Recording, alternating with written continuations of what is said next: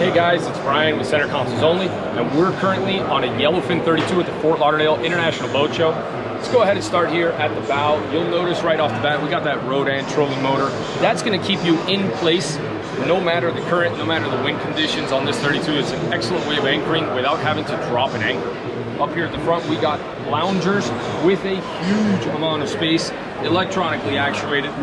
In deck, we also have a massive fish box, which actually is connected with divider there, so you can actually split it up into two fish boxes and keep your ice separate.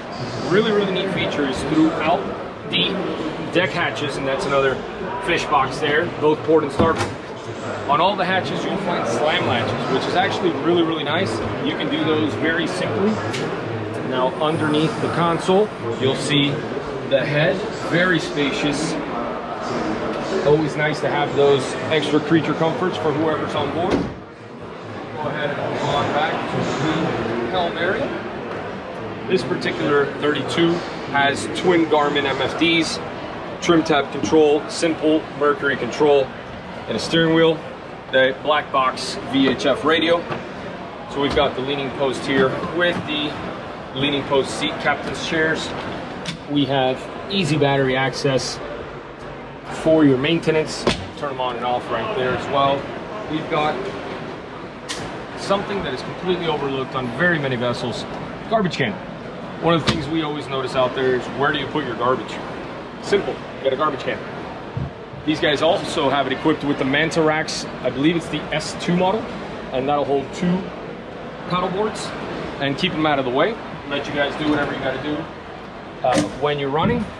Also got starboard and port fish boxes at the aft and complete bilge access here for all your maintenance items. You'll also notice we have rear facing seating. So it just adds another spot here for your, your guests, your crew, get out to the fishing grounds or get out to the sandbar in comfort. And you've got an aquarium style live well in the rear as well.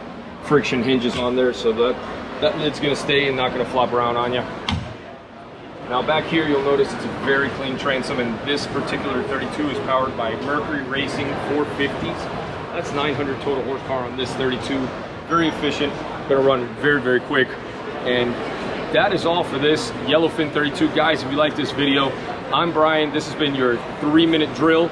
Please subscribe to our channel and check us out on Instagram at Center Consoles Only. Thanks and have a great day.